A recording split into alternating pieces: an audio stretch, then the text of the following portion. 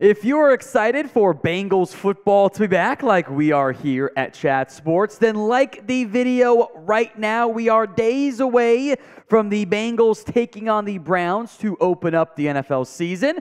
We will be live for that game, by the way. But like the video if, like me, you are hyped.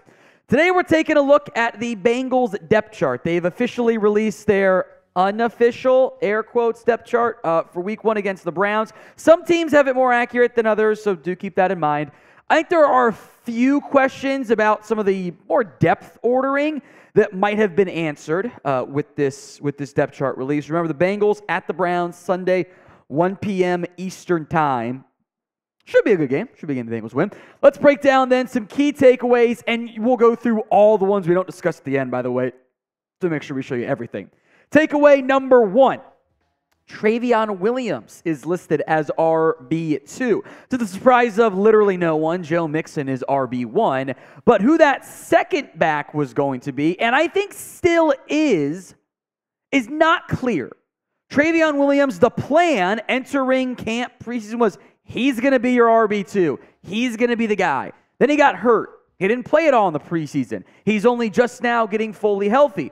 Williams has not had a chance to showcase what the Bengals believe he is capable of doing. Instead, it was, eh, to a lesser extent, Chase Brown. He might not play that much early on this season, but Chris Evans really impressed. And not just as a pass blocker, but also continued to show the pass catching ability we have always known that he has had. I would not be shocked if, even in week one, Chris Evans outsnaps Trayveon Williams. Now, maybe in obvious, you know, passing situations, they'll still give Williams the shot. That's been a big deal replacing Samaje Perine, but Evans has done the best to take advantage of his situation. So let's say end of the year, and we'll base it on a snap count perspective, assuming Joe Mixon is healthy. Who is your RB2? TW for Trayveon Williams in that kind of more than I think the, the, the, third down back role. We'll call that RB, RB2.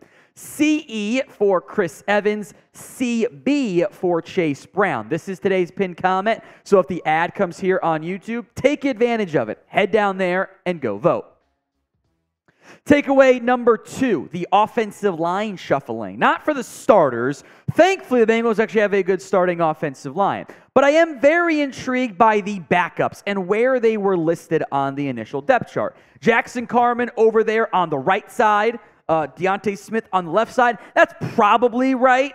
You could flip them pretty easily. I also don't know who's your third third tackle.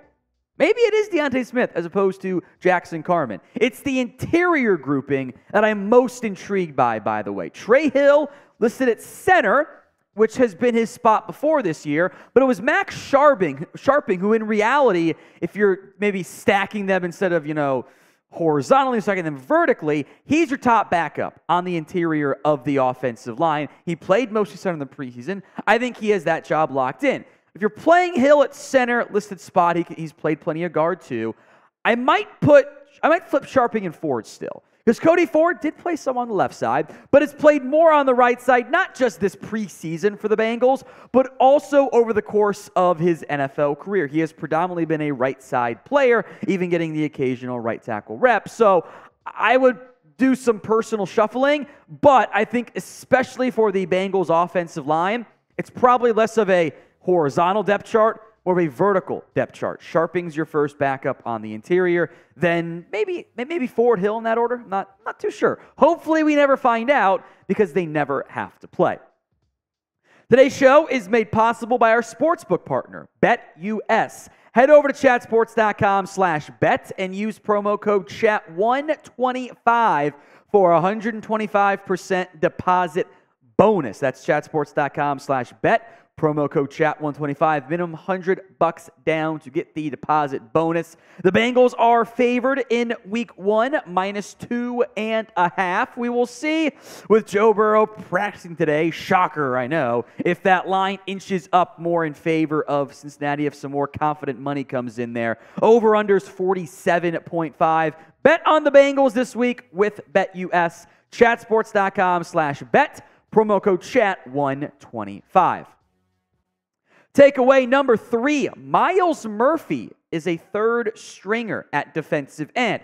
Trey Hendrickson, Sam Hubbard, no surprise here. They are listed as the starters. but it is Joseph Ossai ahead of Cam Sample at the defensive ends or uh, uh, as DE3, Cam Sample as DE4, excuse me, and Murphy's listed as number five. Now, who knows if Ossai plays week one? That is still very much up in the air at this stage. And perhaps this is the old, ah, the veteran is before the youngster on the depth chart that maybe isn't properly reflected in the way the snap counts are actually handed out.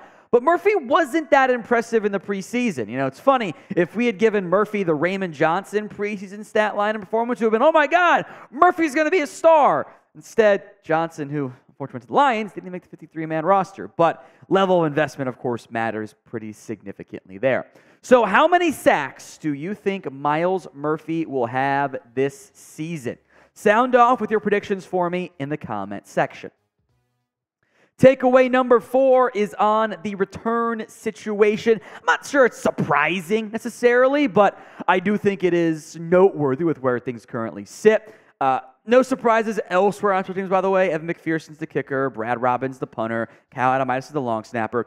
Chris Evans is labeled as the kick returner, which he's done some in the past. And Charlie Jones, who, of course, was drafted to be at least the punt return man, he is going to be the PR guy and backup kick returner. Trayveon Williams is the third string kick returner. Trenton Irwin, the backup punt returner. So, most maybe expected, but I do think noteworthy to mention.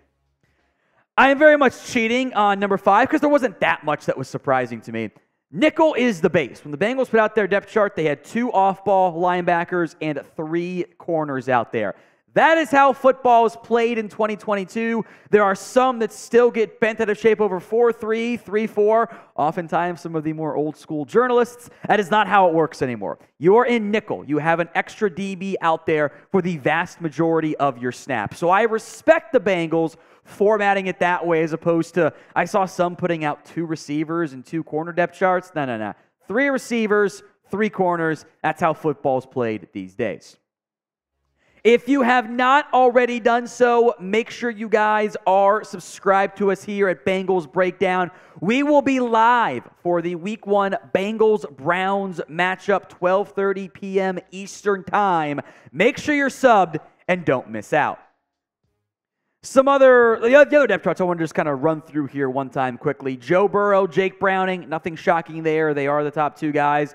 The NFL has changed their third quarterback rule. You can have a third quarterback if he's on your active roster, the 53, on your game day roster as well for free. He just can't play unless there's injuries Will Grier is not on the Bengals 53 man roster. He will not be called up. He will not be active as the freebie. They could always call him up, make him the third anyway, but that seems unlikely. So for now, it's Burrow Browning as the quarterbacks. That could change in the near future, near ish future. Wide receiver, as expected, Ja'Marr Chase, Tee Higgins, Tyler Boyd, Trenton Irwin, Andrei Iosivas, Charlie Jones. You could ask 90, you could ask 100 people, how would you put the Bengals depth chart? About 99 would put them just like this, so no surprises there. Same with defensive line, DJ Reader, BJ Hill, uh, Zachary Carter, Jay Tufele, and Josh Tupou also on that DT depth chart. So nothing too shocking there, kind of in the order. Tufele is your third string, but again, that was pretty damn expected. Pick the score for me of the Bengals against the Browns. I've got the Bengals winning. We'll have a preview for you uh, later in the week with a full prediction. But I want to hear from you guys first. Sound off in the comments section. Linebacker depth chart, depth chart once again. I don't why I said depth chart. What is that? Got a Boston accent. Uh, Logan Wilson, Jermaine Pratt, Markus Bailey, Akeem Davis Gaither, and Joe Bachie Maybe that's with a bocce. Kind of sounds a little bit Boston. He went to Michigan State. As expected there. Same two at corner. Chidobe Awuzie, Cam Taylor Britt, Mike Hilton, DJ Turner, DJ Ivey, Jalen Davis. Uh, the Bengals roster, I think, was pretty well organized. Like, you had pretty clear obvious of like, ah, oh, there's not much debate, not much battles.